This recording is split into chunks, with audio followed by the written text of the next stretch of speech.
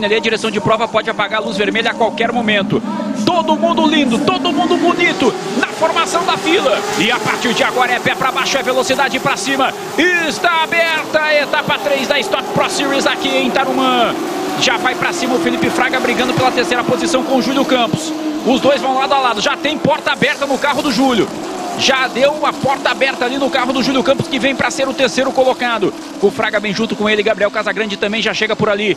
Cacá Bueno vai se mantendo na sexta posição de prova. Lá atrás, todo mundo passando ileso.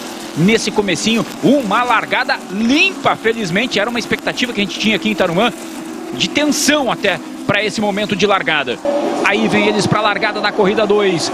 A partir de agora é pé para baixo, é velocidade para cima. Aceleramos juntos com a Stock Pro Series.